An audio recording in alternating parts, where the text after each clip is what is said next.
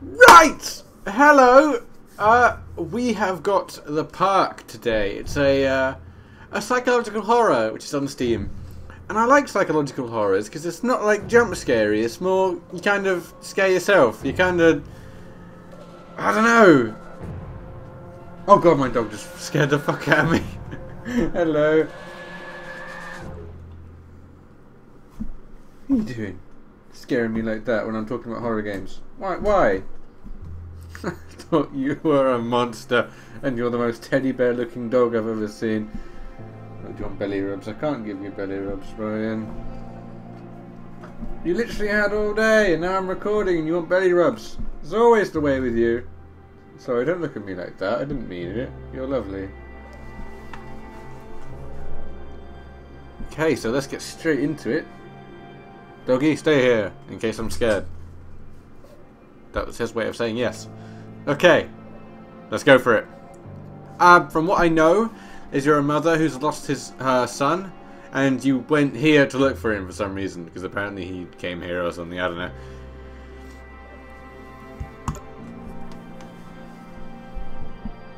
The Park is a narrative experience best played in a dark room wearing headphones. It deals with a subject matter that may be disturbing to some players.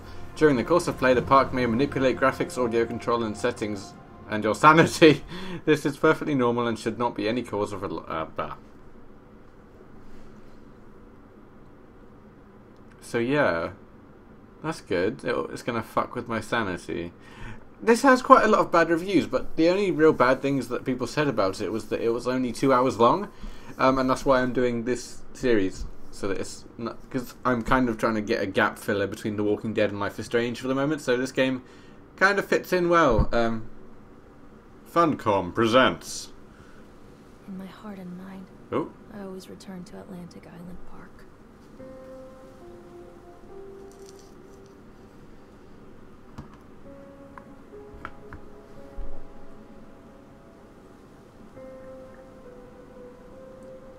Where's Mr. Bear? I haven't seen Mr. Bear, Callum.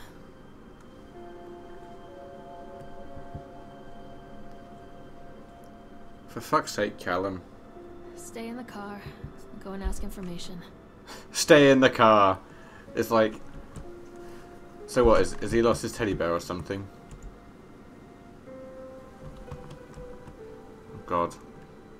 Frame rate is not fantastic. Hang on, let's have a look. What can we do? I just want to get into it. Um. Oh, dog. Oh, phone. Huh? Park is now closed. There we are. Please There we are. your way to the park at your earliest convenience. The- the park for shutdown. Press to interact with objects. Examine the plaque. Callum was born the day this place opened. This is his favorite place in the world.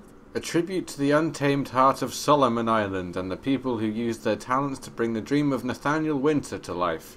May this park be a place where joy and laughter are gathered and used to infect all those who follow after. Dedicated this first day of May 1977, James B. Longley.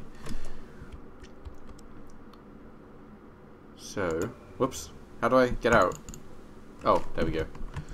Cool. Information. Hello. Oh. Oh dear. Hello. What? Hey, Lorraine. Lorraine. Don't blame yourself, Lorraine. People lose things all the time. Take a deep breath. Think about the last place you saw your son's teddy bear. Hey, stop! I think your boy just ran into the park. For fuck's sake. I'll unlock the gates for you. For fuck's sake. Callum. This is why I keep you in a cage at home. Wait for mommy, Callum! Come on, this way. Alright. Where are you then? Callum, where are you going? Over here. You know, over here is not all that. Oh, is that you? There's something special about the entrance to an amusement park. Oh, do I have to. Line What the fuck? between the real world and the world of Whimsy. The fuck? On this side, It's the dangerous. of our everyday lives, and on the other, anything we might dare to dream. It's no wonder Callum ran back inside. I wouldn't want to leave either. I would. Attention employees, the park is now closed. Have a safe journey home. Wicked. Oh, that's really good. Yeah, health and safety is a 10 out of 10 on this, in this place.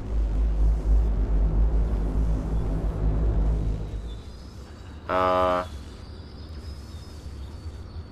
Uh. Oh, I don't want to get to the top now. Hello? What happened?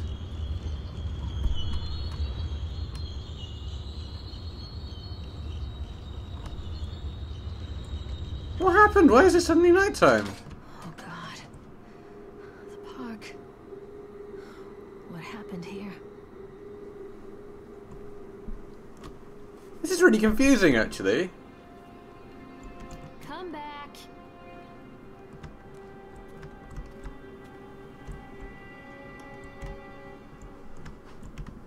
See where the fuck I'm going. Yeah, but what was that? Where are you? Ah, Callum, you fucking snake! Come here. Oh well, doesn't that look like a place of joy and laughter? Callum, please come back. For God's sake, Callum. Callum! You're adopted. Oi! Callum!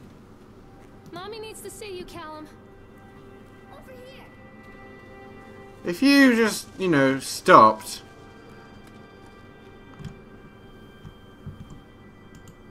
I think this belongs to Callum.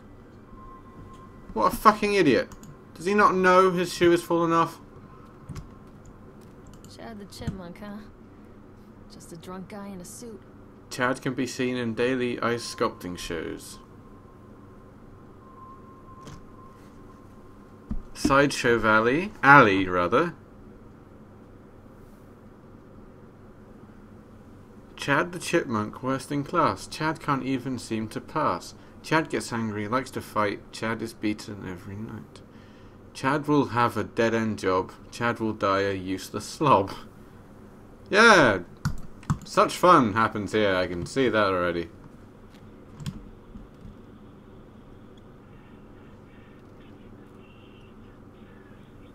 Can anyone else hear chipmunk?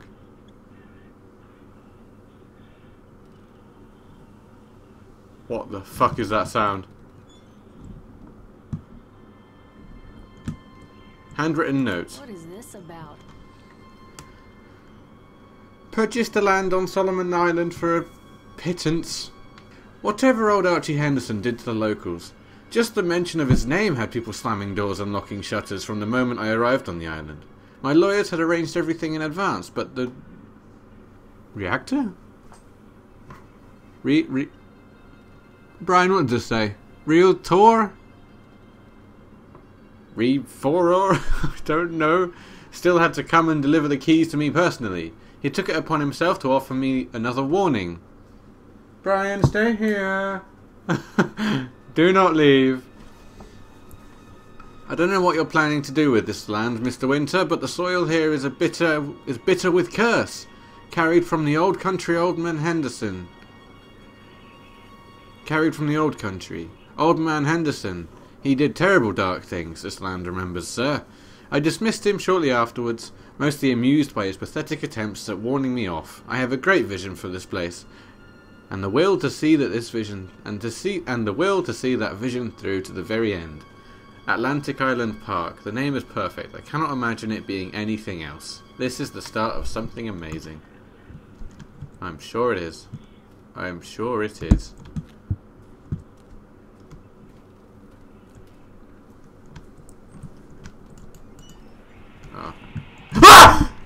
Oh, it was a plant. Sorry. oh my days. I thought it was okay. See, this is what I mean. Psychological horror. Nothing. There's nothing remotely scary about this. I scared myself. That's what I like. I like games that don't have to. Oh, well, everything is rendering in at once.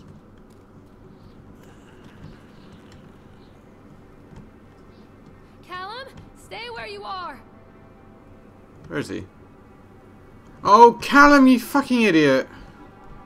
Why? Possessed fucking child. Come here. Right this instant. You know. Oh, can I take this? How do I get on it? How do I get in it? Ah, there we are. Ride Swan. They were very poor and had very little to bite or sup.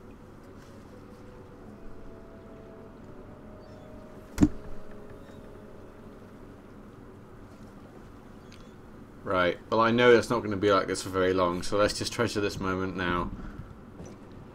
Whilst we've got it, shall we? Fancy Callum just swanning off on his own. How is the ride operating without any operators? Near a great forest, there lived a poor woodcutter, his wife and his two children. A boy named Hansel and a girl named Gretel. Oh, we did They this in drama. poor and had very little to bite or sup. But the Wicked Witch. What will become of us? The woodcutter asked his wife one night. I tell you what, husband, we will take the children into the thickest part of the forest and abandon them there. What was that? No, my wife, I cannot do that, said the man. Then we will all four starve, you fool.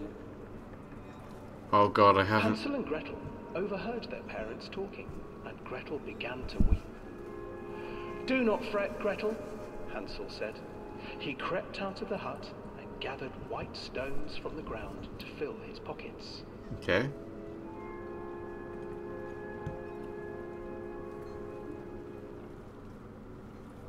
The next morning, woodcutter leads the children into the forest.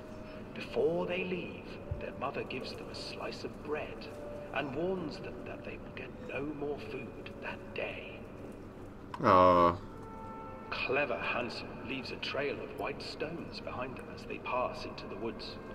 When their father leaves them, the children wait a while, then follow the trail back to their parents' house. Oh, I can see where Callum is. He's all the way over there, for fuck's sake. What is happening? After receiving a thorough scolding from their parents for getting lost in the woods, the children are sent to bed without any supper. Hansel tried to sneak out and collect more. Oh, thank God. But found that the door was locked. Tomorrow I will take them into the woods myself, the wife told the woodcutter. In the morning, their mother gave them a slice of bread and led them deep into the forest once again. Goodo. What is happening? I don't think this is part of the ride, I'm going to be honest. Hansel broke his bread into pieces and left a trail of breadcrumbs to lead them safely home. But hungry-eyed birds snatched up the breadcrumbs and his trail was destroyed. Oh, fucking hell, birds. By their parents and unable to find the trail home, the children wandered in the forest for three days. This isn't the script I remember for Hansel and Gretel, unless we did it differently. We did like. Oh, The children stumbled into a clearing with an exceedingly strange house. made of gingerbread? Its walls were made of gingerbread. Yay! Its windows were panes of clear sugar. Hansel, desperately hungry, ran forward and began to nibble on the walls.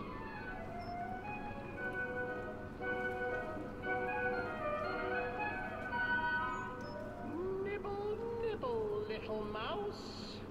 Who's nibbling at my house?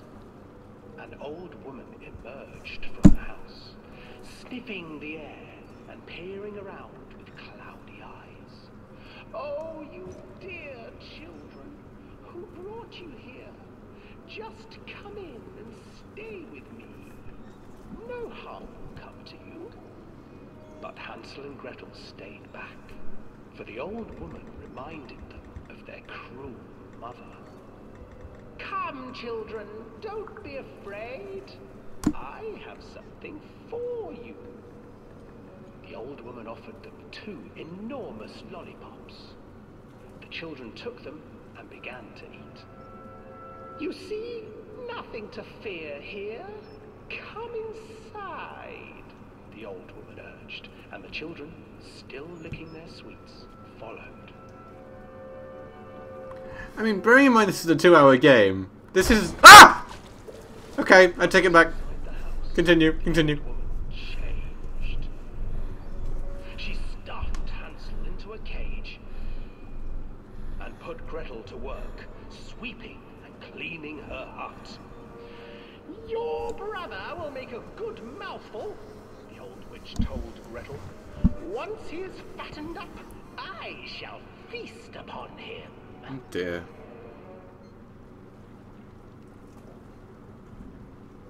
Time passed, and poor Hansel refused to eat, fearing the day that the witch would eat him. The witch, for her part, grew impatient. Today I will cook and eat your brother, Gretel. Climb inside and light the oven. But Gretel pretended not to understand. "Uh, I do not know how. Where is the opening? Fool! The old witch said. The opening is here! And she moved to show Gretel. Seizing her courage, brave Gretel gave the witch a shove, and the old crone tumbled forward into the oven. Gretel slid a large iron bolt over the door to the oven.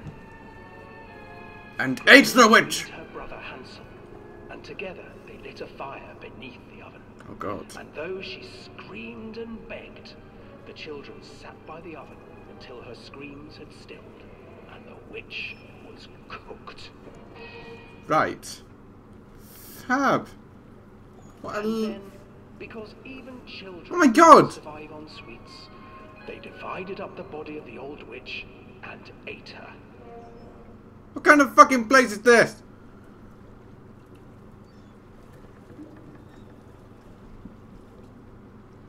Well, that was a delightful story. Hi! Do you want to not? Thank you. Very kind. Tell him you can't! Brian, don't worry, I wasn't shouting at you. Can I get off now, please? Like right now.